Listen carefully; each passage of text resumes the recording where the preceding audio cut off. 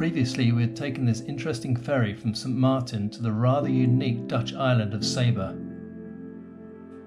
where we had some great diving in their well protected marine park and a wonderful trek around the volcanic peak. In this video, we sail just 10 miles north from St. Martin to Anguilla, where we explore the island's beautiful beaches and resorts. Leaving St. Martin. And sailing to Anguilla over there. Just 6-7 miles. Very gusty. 20 knots of wind. Rift Main and Genoa. We should be there in about an hour Oof, really gusty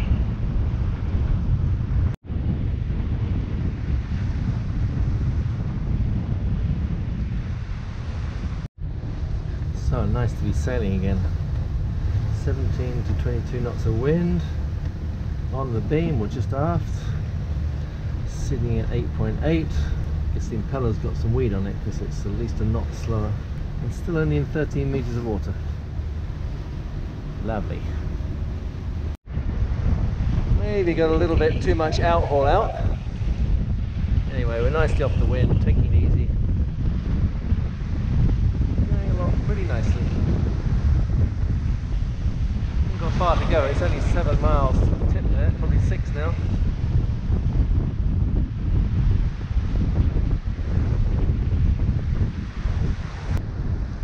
Coming into Anguilla, pretty exciting wind, 22 to 25 knots.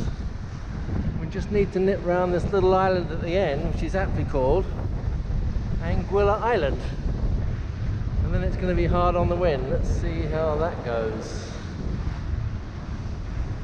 Once we'd gone past the Anguillita rocks on the west end, we could have just motored up the lee shore, but we decided to have a nice windward sail for once, taking one big starboard tack offshore and then a port tack back into Road Bay, passing Sandy Island on the way. We are bashing up wind now, trying to get to Road Bay.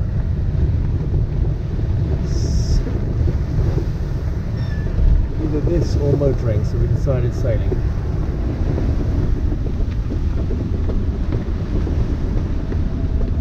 It's a little bit wet out there.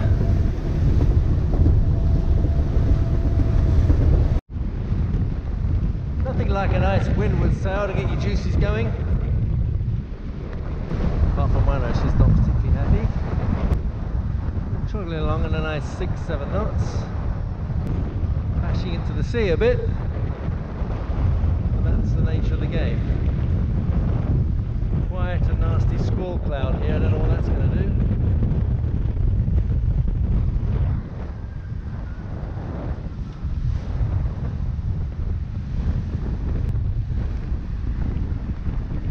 Pretty well reefed. Of the main out. Genoa on the last reef dot. We should really have the cutter out to be honest. Spilling lots of wind on the main too. But it's powering us through the waves.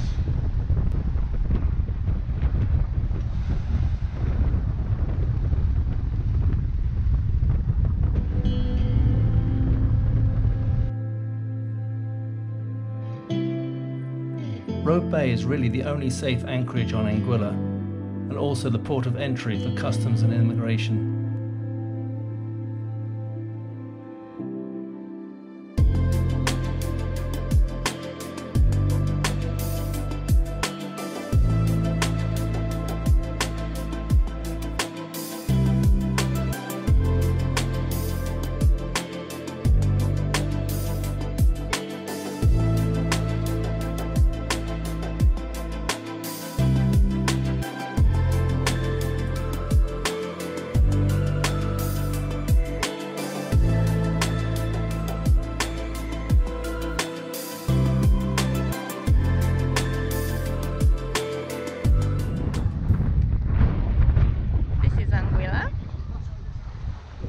In front of the immigration office.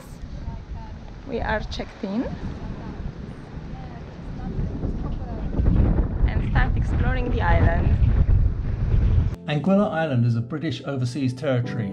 It had previously been governed by the independent St Kitts and Nevis, but in 1969 the locals voted against this governance and returned to being part of the United Kingdom. This low coral island measures just 25 kilometres long by 5 kilometres at its widest point. The main town is The Valley, but like most towns in the Caribbean, it's certainly not the highlight of the island. The highlights for us were the Anguillan people, who we found extremely polite and very easygoing, and of course its incredible beaches, along with some rather exclusive resorts. The best beaches were in the western end and also one in the north. There were beaches on the windward side, but like so many islands, they suffer from sargassum weed deposits arriving with the Atlantic trade winds. Hello, we are off on another driving tour. Anguilla this time, the long thin island. Let's see how we get on around here. Lots of beaches, hopefully. And we hope to bump into some superstars. Yeah, better be. Other than me and you. Our first stop was on the cliff top with a great view down over Road Bay. Nice view looking down on Road Bay, Sandy Island in the distance we came past yesterday. It's cloudy sitting right in the middle of the bay. Behind the housing is a usual salt pan. Slightly further west, we headed to a newly built boutique hotel at the end of Long Bay. Here we got our first taste of a beautiful Anguillan beach. A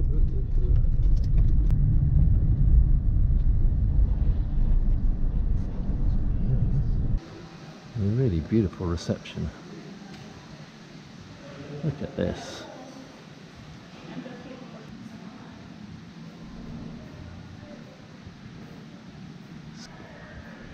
Out into quite a view.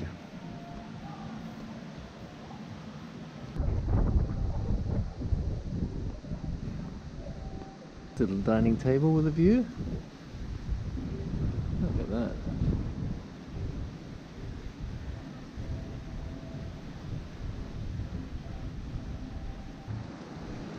Beautiful gardens in this new hotel.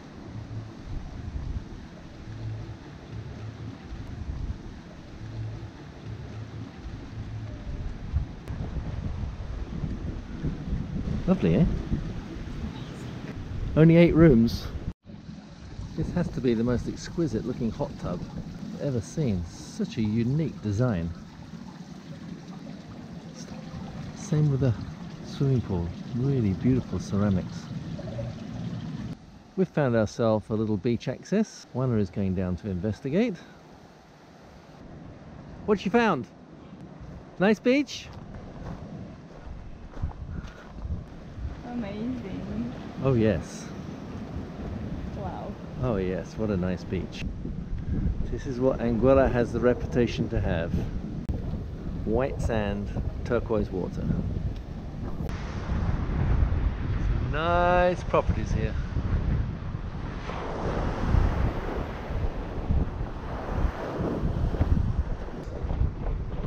Spot the bunny amongst the palms. The next bay along was Meads Bay, with its very sheltered beach. Very nice, tranquil swimming area. Considering it's 20 knot winds offshore there.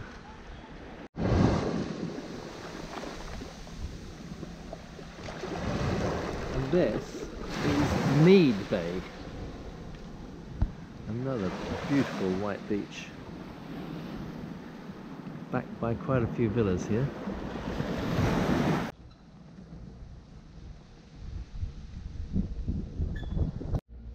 Carimar Beach Club was one of the more down-to-earth resorts, but still very nice.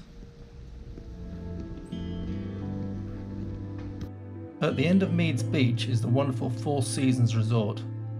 We'll take a flight down the beach to see it.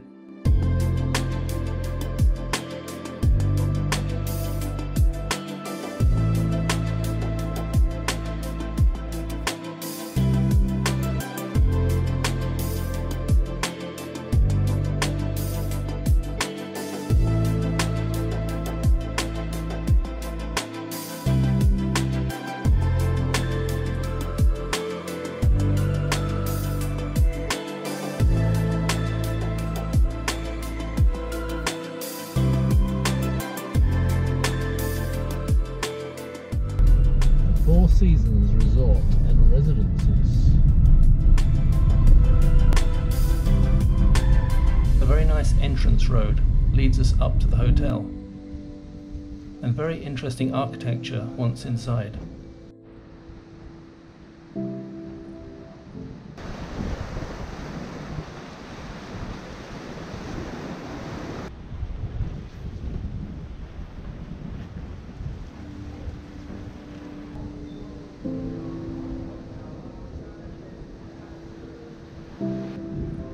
A very nice cocktail lounge jutting out into the sea, which we came back to a few evenings later.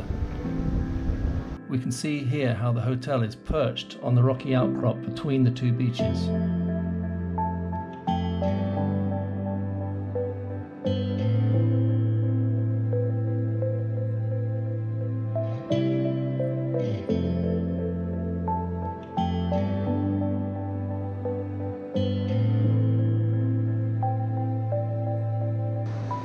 Four Seasons over there. This is the other end of Barnes Bay. Very nice beach here also. As we drove to the western tip of the island, the roads got very sketchy.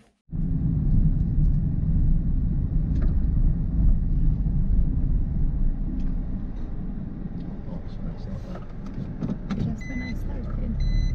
But our good lady from Google Maps still seemed to know exactly where to go. Turn left. Are we driving or? Going around to the south coast, our first stop was at Cap Juluca Hotel. Let's have a flight down towards it.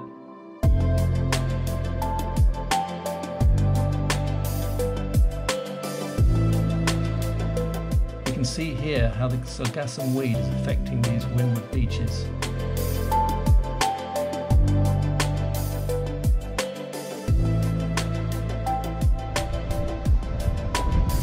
Cap Hotel is built in a very Arabic style. It reminded us of our days in UAE and Oman.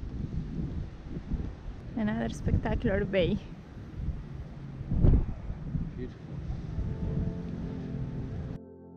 Now let's continue that flight for a little bit before we come back to the hotel.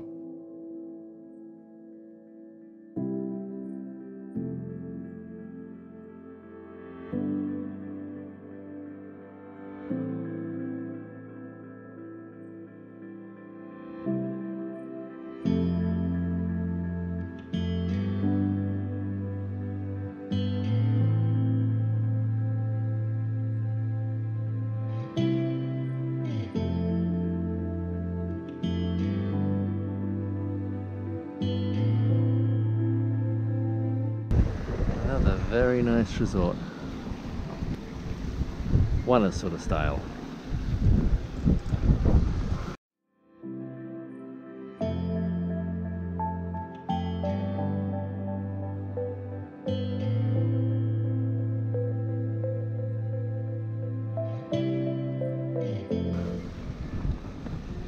Your style? Very much so. Yes, lovely, isn't it? Lovely. Nice little apartments. Nice beach. Next along is a CuisinArt Golf Resort in Rendezvous Bay. Later on, we come back to this bay for a beach day and kite surfing. Next beach along on the south side. Looking just over to St Martin where we came from yesterday. Marigot. Just a beautiful bay here. I think this is Rendezvous Bay. Just amazing sand.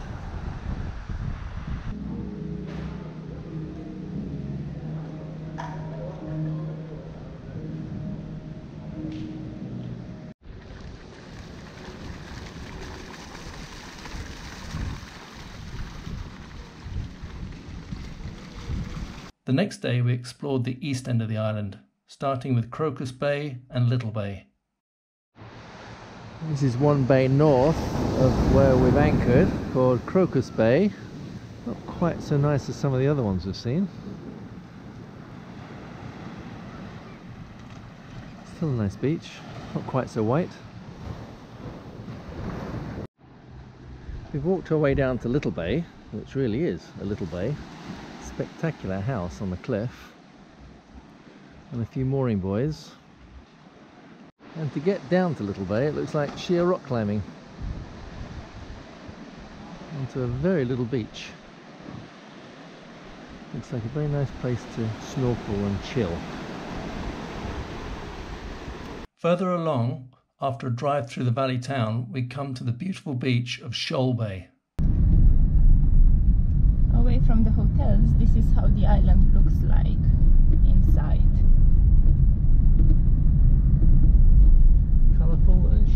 And shabby chic. Turn left. As everywhere in the Caribbean, there is quite the visual contrast between local villages and the tourist areas. This is the Zemi Beach Resort on a very nice beach, long beach. Big rollers coming in. Just amazing colours of this water. It's like Bahamas.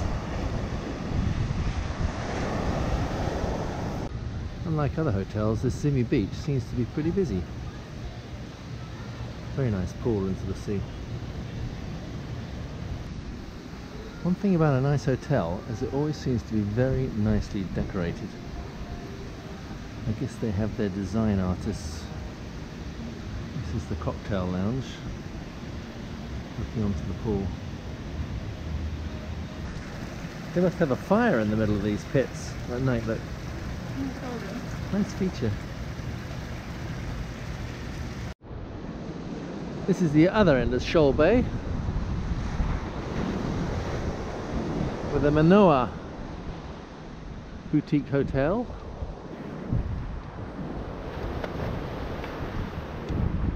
Looking down to where we were before. We now drove around the top of the island and down the windward side to Windy Bay and Sandy Hill Bay. Now on the northern tip of the island. This is Windward Bay. As usual, a lovely bay for kiting, but covered in sargasso weed. Not very nice. Sandy Hill Bay. Not much here.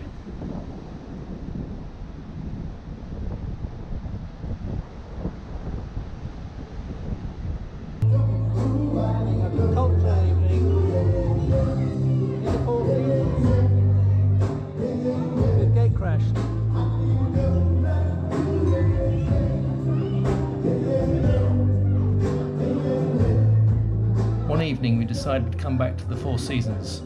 Over our expensive cocktails, we discussed the merits of five star lifestyle. What do you think of the show so far? Could you really handle this five star life? Hmm? Hmm? It's a little bit over the top, isn't it, really? Relaxing day on the beach, kite surfing, sunbathing, sunblasting. Glenn is in full swing.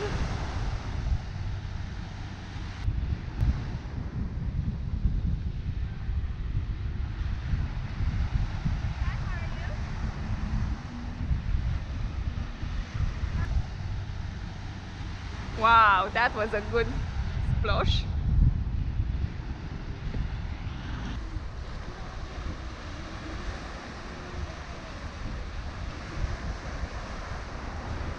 Thank you, Glenn. Here is another demonstration of how not to jump. I'm sure all the videos so far has just been of that nutter kiting. So, let's take a little bit of winner. Having a beach day. Second one. Second beach day. Very nice beaches too. Especially with the beach bunny on it.